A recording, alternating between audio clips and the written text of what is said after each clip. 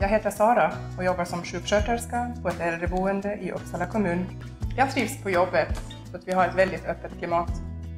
Vi kan diskutera allt med medicinsk ansvarig sjuksköterska och vår chef. Jag tycker om att jobba vardagar och regelbundna tider. Därför kan jag också rekommendera Uppsala kommun som arbetsgivare. Just nu är vi på en spännande utvecklingsresa inom kommunen. Vi satsar på hög kompetens, systematisk utveckling och innovation i en ny, stor, samlad hälso och sjukvård.